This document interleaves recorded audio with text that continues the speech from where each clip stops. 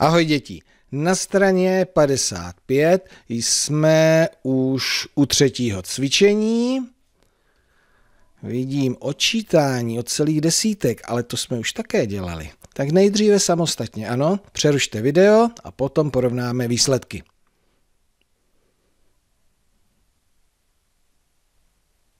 Děkuji. Jaké je zadání? Prohlédni si znázorněné příklady, škrtni očítané kuličky a příklady vypočítej. Tak první příklad. 70 minus 8. Co nám pomůže? 0 bez 8. Ne, ne, ne, ne, ne. My si tady odtuď, od těch desítek, půjčíme desítku, takhle, a odečteme od, od ní 8. 10 minus 8 rovná se 2. Takže tady tomto typu příkladů se zničí desítka. Vidíte, jak to funguje? 70 minus 8, takže sedmá desítka je rozbitá. Zůstala nám šestá desítka a ještě dvě k tomu. Rovná se 62.